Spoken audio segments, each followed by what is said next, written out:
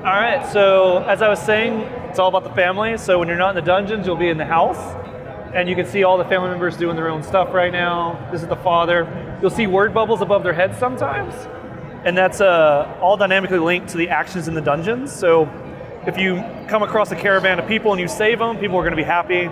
If you don't save them, they're going to be sad, right? These also serve as an organic reminder to like stuff you can be doing. So like, let's say you failed that that quest. Well, eventually it'll start popping back up in the world again, and you'll see like like the eldest daughter be like, man, I wish we should go check on that family and see if they're okay. So instead of having like a quest list, we kind of let the family remind you that stuff's still uh, happening in the world. Okay. Uh, interesting enough, earlier someone saved this wolf cub. Yeah. So they brought it back to the house, and now we've been uh, tasked with like finding herbs for it to like nurse it back to health. But it becomes a permanent fixture of the house and opens up like new uh, ambient animations whenever you return. Okay. Uh, but yeah, let's just we'll just jump right into it. I think we'll just see what characters we're playing. So right now we just have two characters strictly for the demo, but on launch the whole family will be available. And how many? Uh, six. Six. Yeah. So right now you're playing Lucy. Uh, so you can move with the left, and then eh.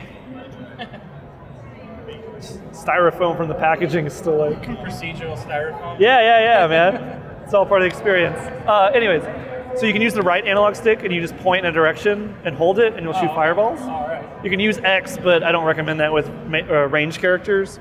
It's more the, the analog's better for them. Uh, y will drop a tornado for you, and then uh, left shoulder button will drop a clone, and that'll distract enemies, uh, and so that way you can be safe for a while. So each character's got like two stances, like two ability sets, right? So for me, you know, I drop the swords, right? That's sweet. But when I hold up my shield, that immediately becomes shield attacks, right? So each character's got two stances, and the the the way you reach that second stance though is unique to each character based on their personality. So as the father, I'm the guardian. So the idea is like holding up your shield kind of unlocks all your guardian abilities. But as Lucy, you're a fire mage, so you're you're younger, you're brash, right? So as you attack enemies, you'll start to see fireballs appear above your head. And when all three of those are fully uh, fully inflamed, you'll enter rage mode, where you can move and shoot at the same time. And you'll have super abilities for a little bit. So that's the idea there. But oh, so yeah, we'll just start it out. So as I said, procedurally generated. It's gonna be different every time. Uh, right here we have a shrine or an obelisk, which grants us like a temporary buff. So similar to like Diablo, how they kind of do that. that right here. Yeah. Rage mode, man. You can move and shoot at the same time now for a bit. Uh, yeah, so he just reached that there. That's one of those unique uh, environmental traps I was kind of talking about. If you happen to clip it, let's see if I can do it without the spikes hitting me. Yeah, it'll explode. So that damage. that'll disable it. No. No, so it'll just regret. So the spikes are just there right now. Those will always be there. But what's great about that is it damages you, but also enemies. So you're playing a range character, you kite some enemies in there. That can be nice. Come on, man. Yeah, so there's another one. Yeah, right. So here's a big chest, but we need a soul in order to open it, and that's like a temporary currency that we get from enemies occasionally, and you get it for just the one dungeon run.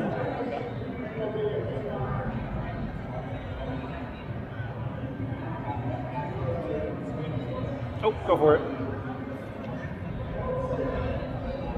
Oh yeah.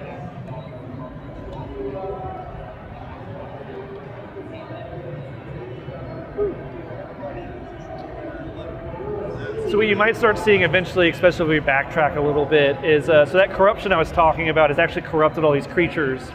And so like this, this is pure corruption right here, but it's actually seeped into the cre- the monsters. So occasionally when you backtrack, you'll actually see the tar seep out of the corpses of the enemies you've killed, Okay. And they'll form new monsters for you to fight. So the idea being, oh wow, we got lightsaber guy. Oh.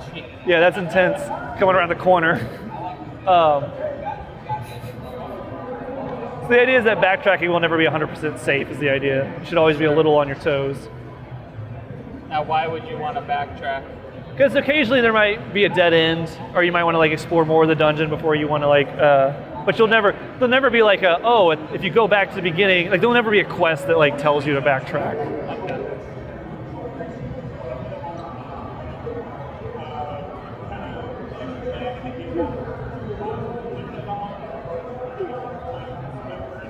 Here's another one of those shrines. So now we got we can move a bit faster.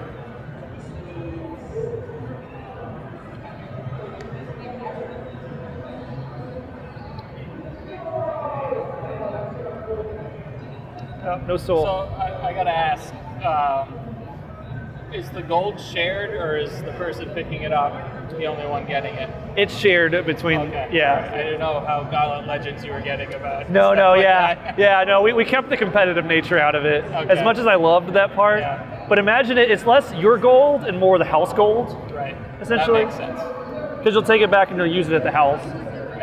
To upgrade the family as like a whole, essentially. So So yeah. you, you got a wing over your head right now. So we we activated a- an agility obelisk earlier. Okay. So we basically have like like increased speed for a bit.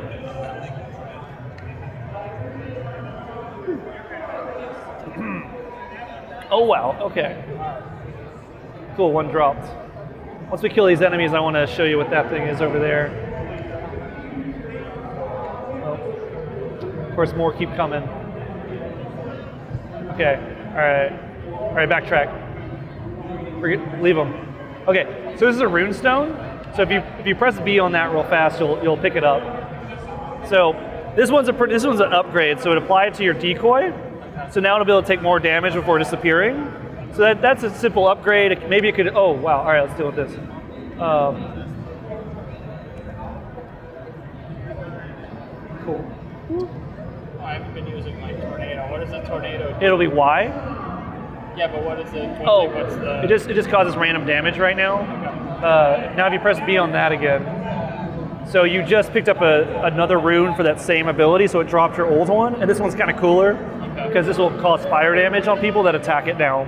So that's not necessarily going to change the way you use the ability. It's still going to be pretty similar, but with a nice perk to it. But sometimes these runestones could change the way you actually want to use the ability. So if you take the archer character, she shoots one arrow. She's great against one enemy, but if a crowd hits her, she's in trouble.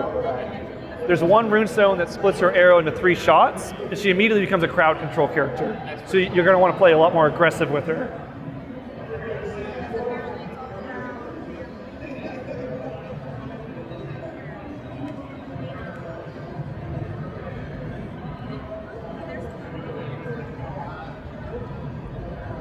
Oh, Oops. Yay, since we're playing multiplayer, I can go pick you up now. So those seals were damaging me over time. Yeah. Just a second. Yep. Is everything okay over here? Oh, yeah, yeah. Okay, I just want to make sure nothing crashed. No, no, no. Okay. We saved the puppy, and so we were excited. Yeah, you, you bring it back to the house, then you nurse it back to health, and you build a doghouse for it, and it becomes like a permanent fixture, and the whole family will interact with it. Yeah, I'm saying that there's multiple characters. Are they all unlocked at the beginning, or do you? And the final build, yeah, they're all a family essentially. So like you, you're like right now we have the father and the youngest daughter, Okay. but yeah, you'll be able to play with all of them in the final release. Okay. Oops. Oh no. Let me pick you back I up. tried to be the hero. It's all good, man. Oh no. Oh no. Yeah, so we got a couple monsters in here that are summoning more monsters. Oh, okay. This, this might be it. Yeah. But that's not a problem because the whole idea is that now we go home, we take all the experience we gained, and we level up. Okay. Uh, so just experience. You'll take experience and golds, uh, and that's it. Right. So like the souls that we found, we lose those. The rune stones, we lose those. Uh, but like if we, um, let's go here. So each character's got their own unique skill tree. So you'll always be able to like feel like you're expanding your character. That's the idea. But yeah, that's uh, right. That's pretty, cool. that's pretty much more to. Uh, this seems real fun. Yeah, we got three fully procedurally generated dungeons each. So we got the caves, we have the forest or the uh, desert, and then we have this like. It started off as like a lava city, but it turned into like a like take a steampunk city, but swap everything with lava.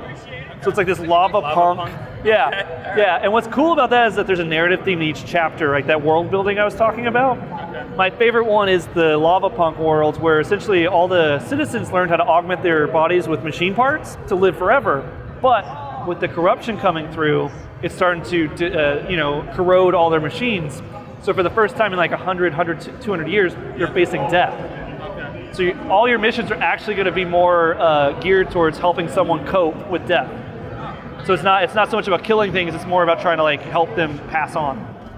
That so mixes it up a little. bit. Exactly. So which each chapter's got its own theme, and we try to like push that.